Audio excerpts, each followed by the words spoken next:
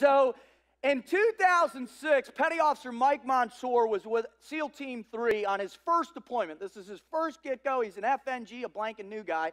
First one out the door, right? And he's operating in the most dangerous place in the world. Now, if you guys have forgotten those days, uh, we were during that time in the Iraq War, we were losing about 100 to 125 people a day, every day in the war. And this place, Al Ramadi, was the worst place on earth. And, but it's a good thing nobody told the SEAL teams because they were kicking the snot out of them, all right? In fact, Mike Monsoor, and just in case you've forgotten also who we were fighting, right before SEAL Team 3 showed up, uh, an Al Qaeda bomb making cell kidnapped a special needs 14 year old girl, put a 25 pound explosive vest on her, walked her into a police recruiting line, and detonated her remotely. That's who we're fighting, just so you know, all right?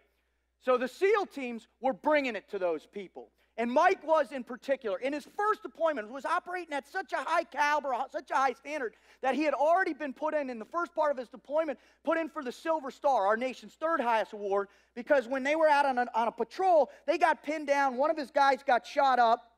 And in order to get him out of this building that was getting rocketed and smoked, he had to cross the street and get this guy. His buddy had to drag him into this APC, this armored personnel carrier. Well, Mike busts out of the out of the thing, gets in the middle of the street with his belt-fed machine gun, and just starts going, taking everybody on by himself, right? That's awesome, right? Exactly what you said. And and so, so and then that way, his buddy picked him up and dragged his other buddy to safety. So that's how Mike was already performing. Now, towards the end of the deployment, Team Three, Team Five was coming in, and the task unit commander for Three raises it goes to the, to, to the whole team and says, "All right, gents." We need some people to volunteer to stay extra time, uh, to do turnover with Team 5. How many hands went up, you think, ma'am? All of them, ma'am. Not none, all of them. Remember, this is what we like to do.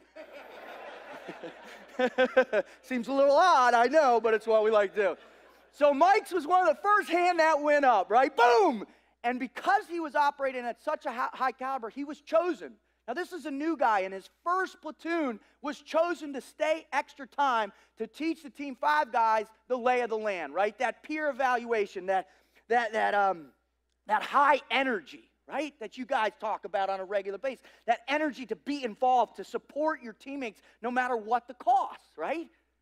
So he sticks around. So, unfortunately, they went out on a patrol not much longer after that when turnover was going on, and they were, they were in a fight, and they got into fights three fourths of the times they went out the, di- the door in Ramadi at that time, they got into gunfights. And so they were in a gunfight, and they had moved to a, a position on top of this roof. Two snipers were providing overwatch for the other platoon that were trying to maneuver, and Mike was checking their six. He was holding security with them, right? Because he was a big belt fed machine gunner, big dude, and all that.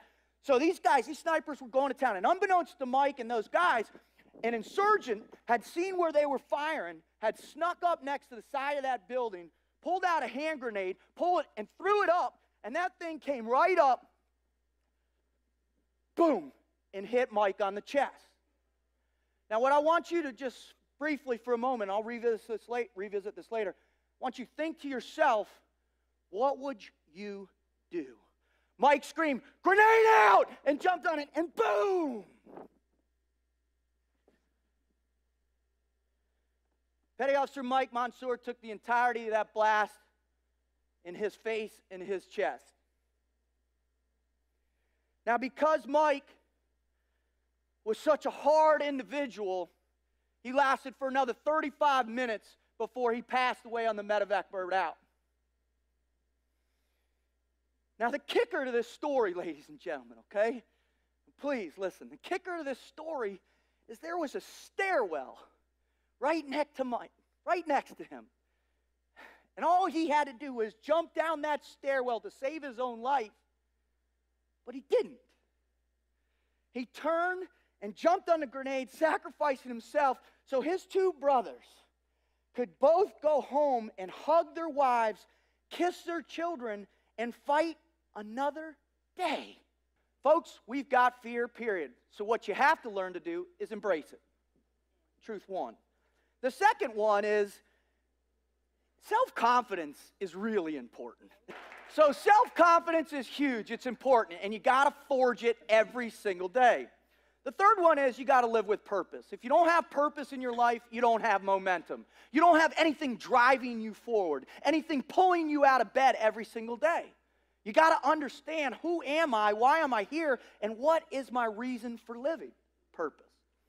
And the last one, and the one I learned that left an indelible mark not only in my heart but in my soul on those beaches across the street, street over there is nobody does it alone.